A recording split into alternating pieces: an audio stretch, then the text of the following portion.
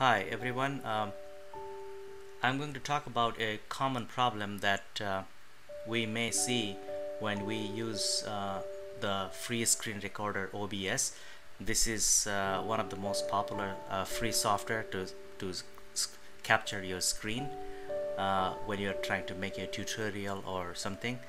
Uh, and the common problem is that when you open the software and try to capture the display, uh, it doesn't do anything. Instead it shows a blank or a black screen.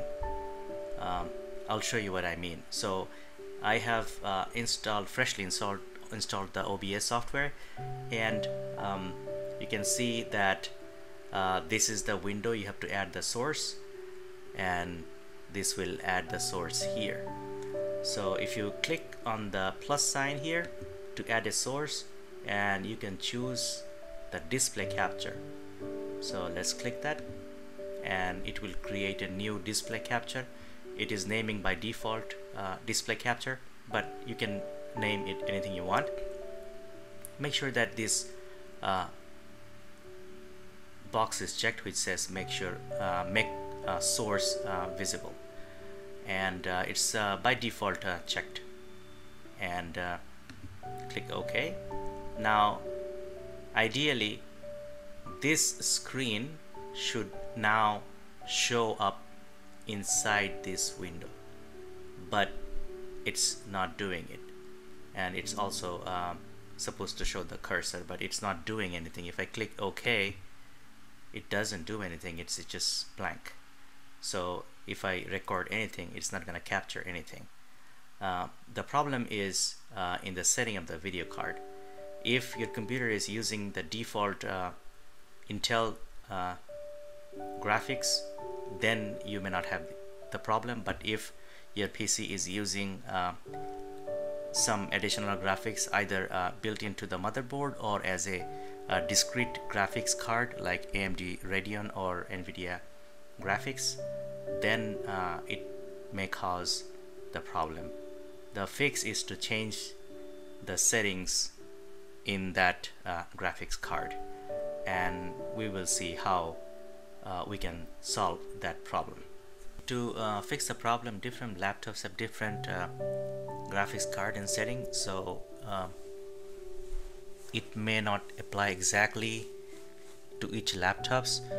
Um, I have uh, searched through the internet and there are some very good uh, solutions to some of the problems, but one of them worked for me and the other one didn't so I have two uh, Dell laptop. One has a high-end um, NVIDIA graphics and uh, one solution worked for me for that one. But um, I have another Dell Inspiron which has um, a AMD Radeon graphics along with the Intel HD graphics and any of the solutions that uh, I uh, saw in the internet did not really work well. So I'm actually showing that one first. So you can see here that uh, if I add the display capture it's back on now. But it wasn't working before I applied the solution. So what I did was uh, went to the device manager to see what graphics card I had so when I go to the device manager and it will give you a list uh, of the graphics cards that's uh, in your system. So if you go here in the display adapter you can see that I have two adapters AMD Radeon uh, R5 M335 and then again Intel HD uh, graphics 520 so what I did was I right clicked on the AMD Radeon like this and then I disabled the device. And it will uh, give you a warning uh, uh, and you just click click yes. You can always uh, enable it later on. So now you can see uh, that the AMD is disabled and the Intel HD graphics 520 is the only uh, working graphics nothing changes on the display. I guess one uh, takes over the other. So I closed this and then uh, when I opened the OBS software and then added the display capture create new and then leave everything as it is and then click OK it just works. It captures your screen then uh, um, I thought that every time I uh, have to uh, use the OBS software I have to disable the graphics uh, and then once I am done and so I will have to uh, enable the graphics the the AMD one. So what I did was uh, I closed the application. I went back to the device manager and then I enabled the AMD Radeon. So now it went back to what it was so both of them are enabled. And I thought that now if I um, open the OBS software uh, then I will not be able to capture the display anymore and it will still show the black blank screen. So now you can see that both of them are enabled so let me go back to the OBS software. And now I'm going to add a display capture. It just works. So once I disable and run the OBS and then exit the OBS and then again enable the Radeon graphics it just works. Now it doesn't really matter whether the uh, Radeon graphics is enabled or disabled it just works. So this may work for you uh, I hope. Um, and um, all you care is uh, whether or not the software works. And uh, that's that's uh, I accidentally found this uh, solution. Some people said that um, if you have a, a, dual graphics like this a AMD and the Intel HD if you right click on anywhere on the, on the screen and it will give you a dual graphics setting and when you go to the dual graphics setting you you can disable or uh, choose only the Intel graphics. I don't have that option so it does not give me any option to switch uh, to a uh, uh switchable graphics and uh, change one to the other. So give it a try. Um, if you have the AMD Radeon graphics uh, disable it under the device manager and then run the OBS software and hopefully this will work. Uh, this is uh, working for me in the Dell uh, Inspiron 15 5000 series uh, laptop. So this is the solution for this model and probably uh, similar uh, laptops with similar graphics card situation uh, this will also work. Okay for those um, who have a little bit of uh, high-end laptop uh, you may have a discrete graphics card uh, like Nvidia. Uh, you may have to do solve the problem in a, in a, slightly different way which which is probably a little bit easier. So um, what you will have to do is uh, go down here and uh, click on it and find that the NVIDIA graphics settings. Right click on it and open the NVIDIA control panel.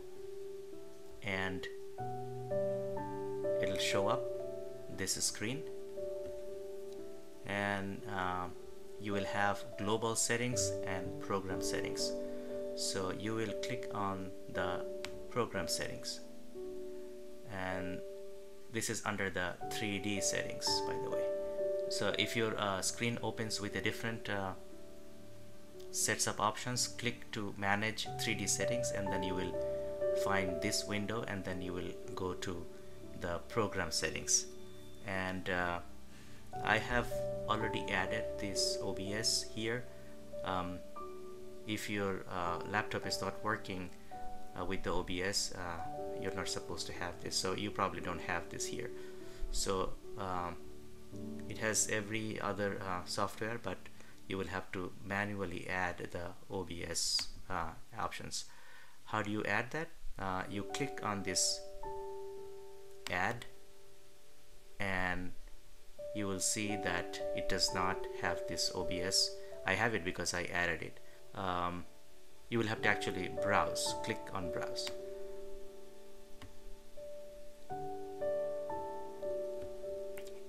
then you will have to um, on this bar uh, you will have to copy and paste the address for the OBS it's already here with for me because I just added.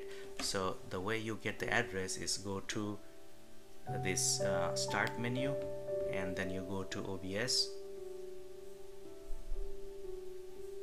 so it will be under O. So click here on this arrow and then you go here and right click on OBS Studio and then go to more options and then go to open file location.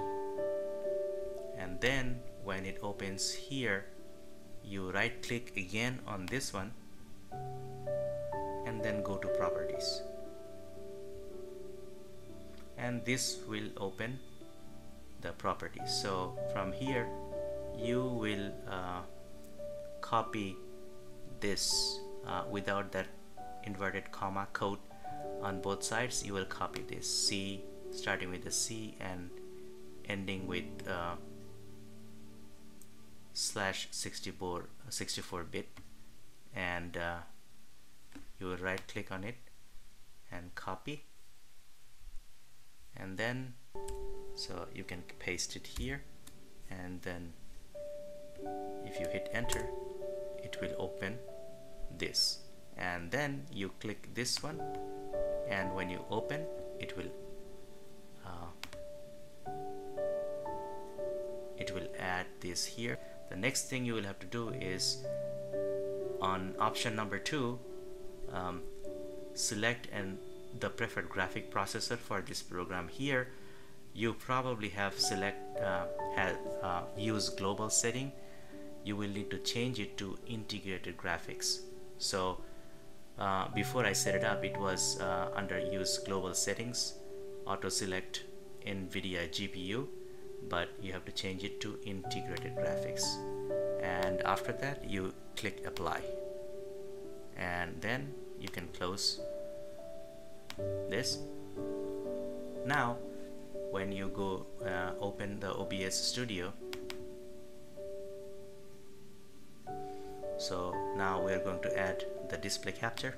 So click on the plus sign click on display capture and create new display capture and then just leave it alone. Click OK and see it's capturing the display it's no longer black. And you can click OK and um, this is going to be your uh, base resolution. Um, depending on how uh, your resolution is set up on your desktop. And you can click OK. And now you can uh, capture anything you want by uh, clicking on the start recording button.